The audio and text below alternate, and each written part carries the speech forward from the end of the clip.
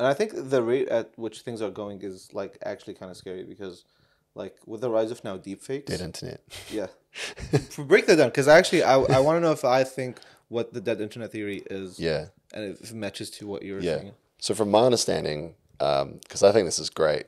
Well, it's terrifying, but it's also like uh, the stuff's so interesting. Yeah. It's like as bots, essentially it's bots, but AI as well is a big part of this, become more and more prevalent. Higher and higher portion of the engagement, whether it's comments and even now like content being produced, have like very little to no human involvement. And you can see this now on Twitter. You probably start to see this now on Reddit, like places where it's very easy for bots to be doing a lot of the engagement because it's just text. But like soon you won't. You're like you'll be there'll be fuck, you'll be on the internet and you'll be like reading all this content, watching all this stuff, and Yeah. Maybe one percent of it will be made by humans, and eventually the, what they're saying is like tends towards zero. Yeah. There'll be no. The internet is dead because Yeah. there's no humans on the internet. But it's like real comments. and you can't tell. Yeah, Yeah, that's the thing. Like the example that could be across everything. Ex- yeah, which is the scary part. The example that about stood like out to me. lobbies. Yeah.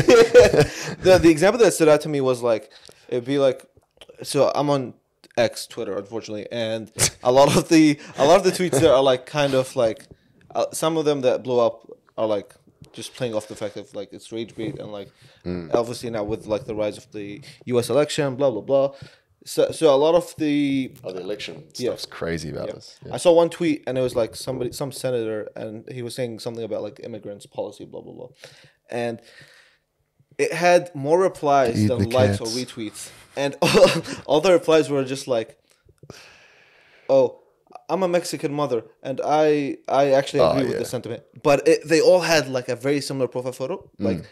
Not the same person, but the same Mm. It's the. Russians, bro. Yeah.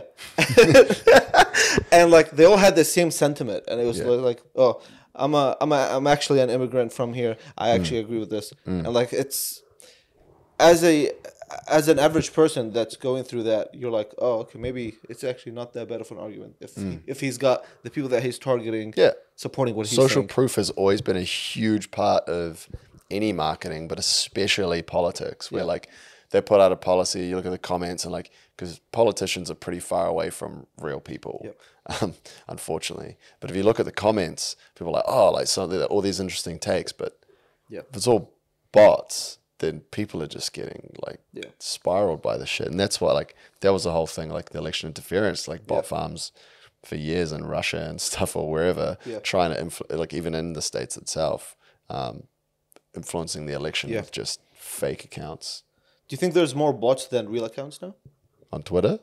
on social media? If anywhere, if, if there's any channel where there's more bots social accounts, it's Twitter Yeah. than, than human accounts. Yeah.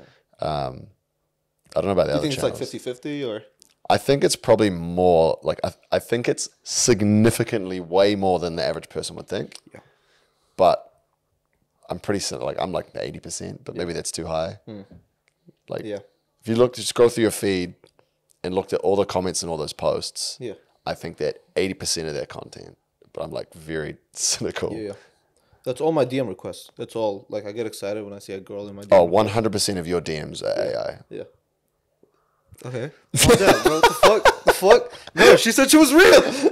no, yeah, and um, and again, like, bro, like everything on the surface looks realistic. Yeah. Looks authentic. Yeah. The message also looks like it comes extent, from a human. Some of them are real bad. Yeah. Yeah, obviously, but like now they're getting to a point where like, damn, this girl actually is in love with me, or like it'd be like the ones I have is like recently it it's like a random girl that hits me up. It looks like a normal account, like relative following, relative follower ratio, and she was like, "Oh, my friend here likes you, blah blah, blah at blah blah blah," and they're all sending me to that one account, Yeah. and that is fucking like There's very there's very legitimate like legit I guess yeah, this is legitimate like uses for this as well for people that don't have the best English. Yeah. Or even people that can't speak or write well. Uh, there's some really interesting examples. Like there was one I saw like real wholesome ages ago, like probably around when ChatGPT first came out. Like some guy had made this app. Some like some young guy had learning disabilities, and his mate made it an app. So like he was f- mowing lawns Yeah. for people. Yeah. And like he was he made him an app so that he could professionally communicate with the people he was mowing the lawns for without Yeah. like throwing them off by just like bad grammar, bad like Yeah. understanding, and also just being understood. Like this is like a weird example, but like I have some freelancing clients um, just on the side, like doing like websites or Shopify or whatever. Yeah. And like they'll hit me up sometimes, and like they're business people, so they just send these like real half baked messages, and like these aren't these are smart people, but I'm Yeah. like, dude, what the fuck are you talking Maybe about? the bots are. I take yeah, I take these comments. I'm like, bro, GPT, what does this guy want from me? Because I cannot. And like, I'd probably figure it out Yeah. after if I pick the phone, maybe like spend five minutes staring at his message, being like, what? Like, because they just brain dump into WhatsApp. yeah. Like, I, it's really useful. Yeah, it's decoding like hieroglyphics. Yeah. think, yeah. Um, there's also like, this is so completely unrelated, but I'm just avoiding the topic of Wrangler. If you want to know about Wrangler, your attention, please find it there. But there's this fucking TikTok that I'm seeing recently, and it's fucking killing me. And it's basically like, so let's say I'm acting like I'm a foreigner, and I'm like I just landed in New Zealand, okay, and I'm asking somebody where the directions are, like to the nearest park. So mm. you're you're in public. I come up to you, and I'm like, I have like Google Translate, mm. and I'm like playing it in English, but I'm saying it in like Yeah. my own language. And then whatever you'd say, I'd like put into Google Translate, but it's a pre-recorded video of Google Translate saying like some crazy shit back to me, mm. and it's like, "Shut up, you fucking." Da, da, da. And they, the panic on their face is so fucking funny, bro. And that's it. But yeah, That's crazy. yeah, I, I feel like I want to do that.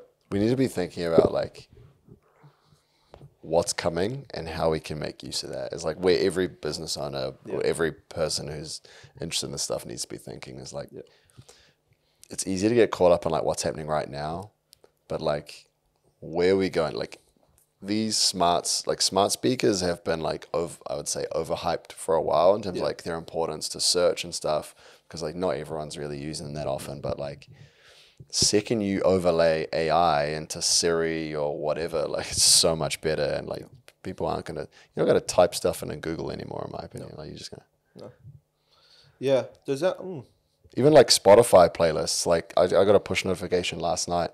Spotify was like, um, push push this thing to me. It's like you just tell it like type into the chat and it'll and what you want Yeah. and make a playlist. Yeah. And I tried it out and like it was pretty good. I this, I was like, you walk into a t-shirt store. Yeah. There's four t-shirts.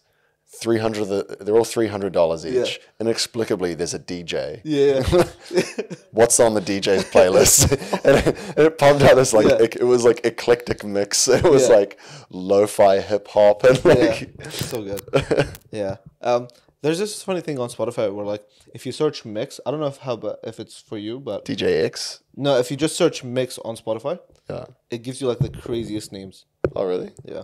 Oh, is that your daily mix? Daily that what you mean? mixes, like Yeah, if you just yeah. search mix. My first mix is Giat mix, and then it's standing on business mix, and then it's freaky mix, and Riz mix, battle royal mix, underground mix, escapism mix. I got R and B mix and then creamy mix. Whoa! Standing in the morning, guys. mix. Bouncy mix. It's Late night mix. Why does Spotify think I'm so thirsty? what are you up to? Are you shaking your Angry driving mix, rage mix, relaxing intimate mix, Whoa! sad crying mix. Okay, fuck this man. With that being said, guys, thank you so much for tuning into our podcast. We'll see you tomorrow. Peace.